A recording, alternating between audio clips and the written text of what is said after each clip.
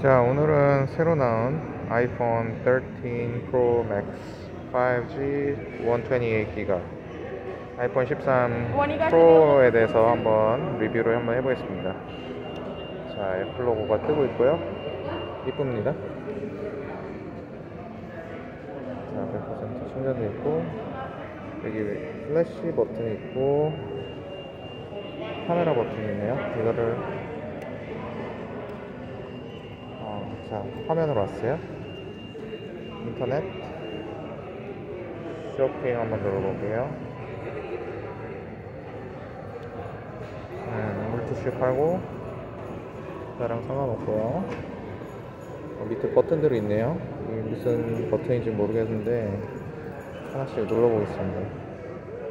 이게 애플을 쓰게 되면은 이 버튼들이 무슨 의미인지를 알아야지 어, 쓰는데 좀 편할 것 같아요.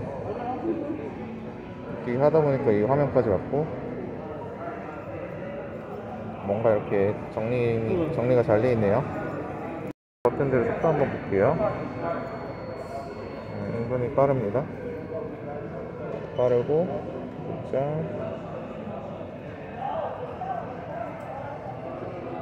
제가 애플을 예전에 아이폰 4 쓰고 아이튠 연동해서 쓰는 게 불편해가지고 갤럭시로 넘어온 지 오래되다가 이번에 모토로라로 또 넘어왔어요.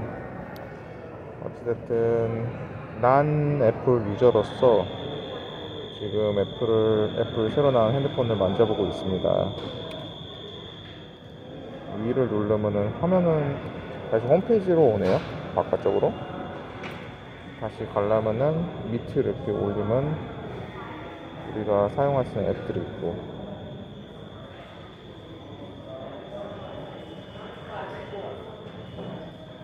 자. 이거를 오랜만에 진짜 10년 이상 안 써본 사람 입장으로서 음, 거의 뭐 처음이라고 할 수 있겠죠? 이게 처음에 샀을 때 얼마나 쉽게 적응할 수 있는지 어, 리뷰를 한번 하고 있는 중입니다. 보니까 뭐 갤럭시처럼 왼, 왼쪽 오른쪽 이렇게 넘기는 건 똑같은 것 같고 다만 이제 뭐 아까 봤듯이 이 밑에 이런 그림들이 무슨 뜻인지 모르면은 좀 처음에 힘들 수 있을 것 같고요. 특이한 점은 뭐냐면은 타이핑 그 주소 어드레스를 보통은 위에 있는 걸로 알고 있었는데 이건 밑에 있네요. 그래서 넘어가죠. 타이핑을 하는 거는 게시판이 그냥 깔끔하게 잘 되어 있고요.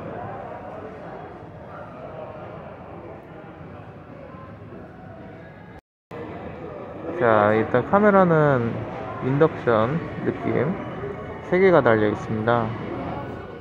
색상은 이런 핑크빛, 로즈 핑크빛도 있고, 음, 그냥 네이비색 정도? 무광이네요. 금색도 있어요, 금색. 그리고 지금 리뷰했던 거는 네이비 색인데 되게 헤들색이라고 해야 되나? 조약돌 느낌? 아, 그리고 현재 가격이 지금 한 번에 내면은 환불로 돼 있어요. 한 120만원 정도면은 사는 것 같은데, 국내 가격은 어떤지 모르겠네요.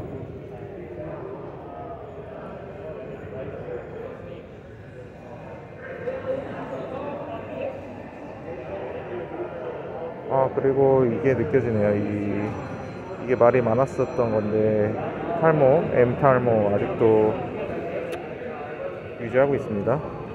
나중에 대머리 될 수도 있겠네요.